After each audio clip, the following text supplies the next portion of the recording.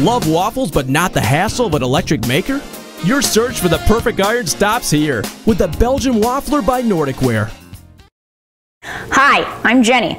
We're going to be talking about waffles today.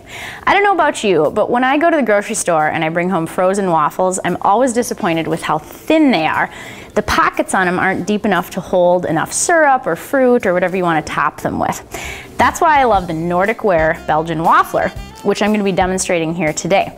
This is actually a stovetop item, so there are no cords, you don't have to worry about plugging it in, it doesn't go in your toaster oven, it's just on your stovetop. It's a cast aluminum pan and it's coated with nonstick on the inside so you get nice release. And one of the benefits of this pan that I see as the best feature is that you end up with waffles that have very deep pockets. It can hold whatever you're putting into them. So let's walk through how you're gonna use this pan. It's very easy to use. I just have some plain waffle batter mixed up here. And waffle batter tends to have a little bit more oil in it than a typical pancake batter, so that's what ends up resulting in that crisp exterior that we all love on waffles.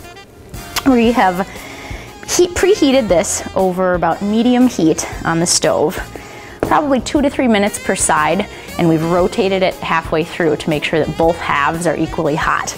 I'm gonna brush the inside of the pan with a little bit of vegetable oil now that it's preheated, and this is just to absolutely be certain that our waffles are going to come out when we're finished. This has great non-stick coating on it though, so this isn't entirely necessary. I'm gonna flip the pan over and do the other side as well. You'll notice that this pan is nice and hot and ready for waffle batter. When you're doing this, you wanna make sure that you're using a pastry brush that has real bristles on it so it's not melting, or a silicone pastry brush, which also won't melt on a hot pan. Looks like we're ready now. We're gonna leave the pan over about medium heat. You can see the flame that I have this set on here right now. Medium flame.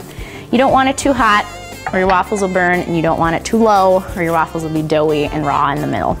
I have a half cup measuring spoon.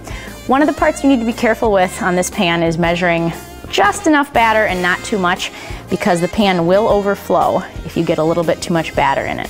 I'm just adding the batter to the center of the pan here, and when we close the lid, it's actually going to spread out to the corners of the pan.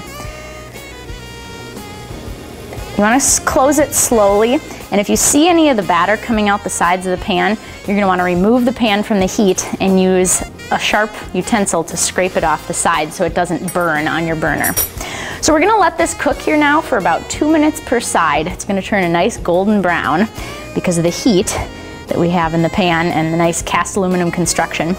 And let's come back in a few minutes once this is cooked. One of the most common mistakes with the Belgian waffler is not putting quite enough batter in the inside of it, and I'm gonna show you what it looks like if you don't put enough batter in. You end up with a waffle that doesn't quite make it out to the edges, so you don't get the nice squared off look. It's still gonna taste great, but this is why it's important that you just put in the right amount of batter. One of the things that people love about Nordic Ware's Belgian Waffler is how easy it is to store. When you compare this, just this thin profile, to that of an electric waffle iron, it's much, much easier to store in your cabinets. Another benefit with this pan is how easy it is to clean. Now, if you think about an electric waffle iron, you can't submerge that in water. So when you have caked on waffle batter and it's really in desperate need of cleaning, you can't put it in water. But the Nordic Ware pan can go right into a hot, soapy dish sink and be washed. That's a lot easier for your cleanup. All right, I think it's been enough time. Let's check on our waffle. You wanna make sure you don't open it prematurely because it'll pull the waffle apart, but I know that this one has been on here long enough and it's been flipped sufficiently. This one looks like it's great. Now you see how deep the pockets are on each of these waffles? These are almost an entire inch deep.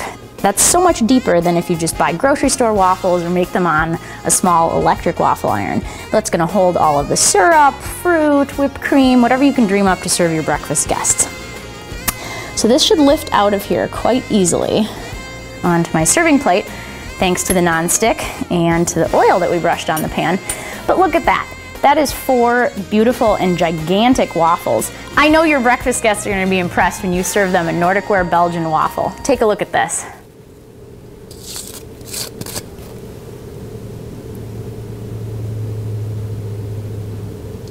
To learn more about the Belgian Waffler, visit our website at NordicWare.com. Nordicware, the leader in quality and innovative kitchenware products for over 65 years, made in the USA.